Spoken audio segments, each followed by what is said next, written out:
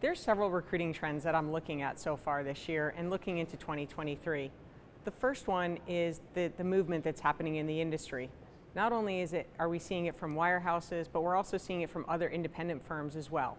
And I think that as people have reflected on the last couple of years during the pandemic, they really have wanted to decide what they want for their life going forward. And independence allows freedom and flexibility. And also for the independent advisors, it offers an opportunity to partner with an independent firm that might better support what they're looking to do for their clients.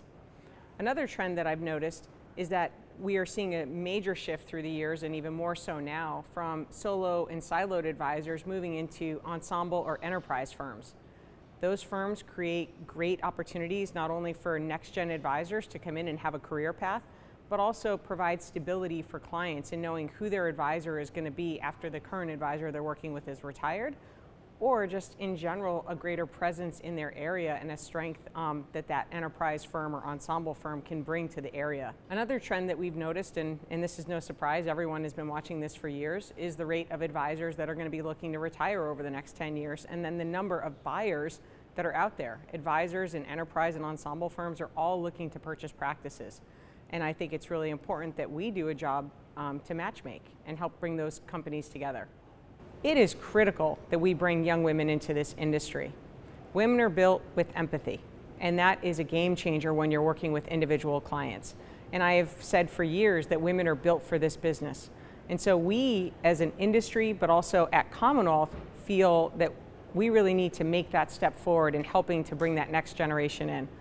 This is not a conversation that we can have when someone's in their 20s. This is a conversation that we need to have not only at the university level, but I really believe this needs to happen at the high school level, where we are getting the word out there that this is a career that will support a woman in not only um, building an incredible career where she can take care of clients just like a doctor takes care of patients, but also that there's flexibility in this career. And so as you move on and your life changes and maybe you have kids and, and so forth, you have that flexibility to build the work-life balance that you need to do both.